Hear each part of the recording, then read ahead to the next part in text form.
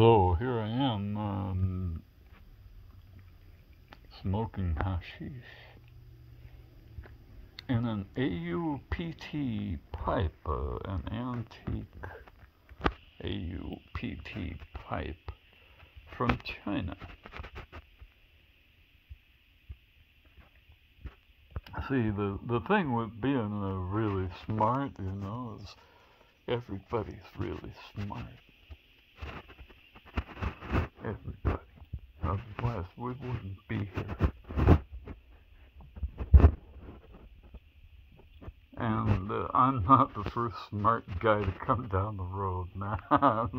and other people heat metals up and watch, and look what happens. And they know this stuff, right? They know what happened when they when they did it, and they did it more than once, like I've been doing. And sure enough, by golly, this went from being a piece of silver that they cast and they heated it up in AUPT dust and it became AUPT. High platinum with gold in the planes of cleavage.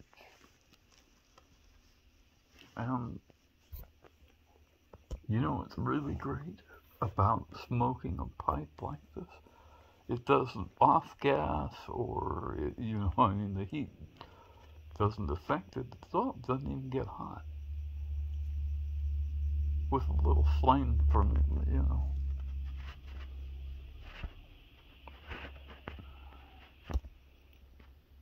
And, and you know what else? You weld with it with a regular battery or, or a regular torch because the palladium has a, a lower melting point than platinum. And so you can uh, weld by using fluxes that help the metal move from point A to point B. And that's how I get it out.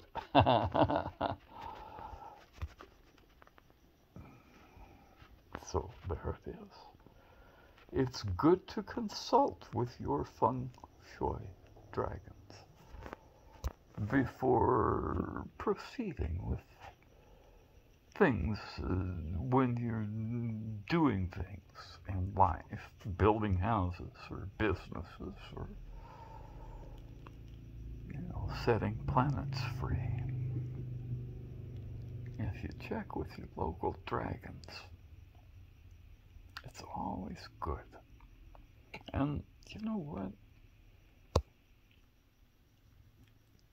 it's always good to, you know, keep an eye on these guys and, and ask first nicely, right? Nicely. Yeah, we're just guests here, you guys. We're just guests. And I, you know, I'm one of those guests that likes to wash the dishes.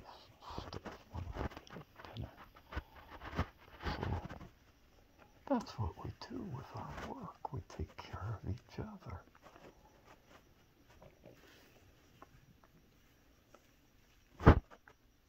And in a world where there's plenty for everyone,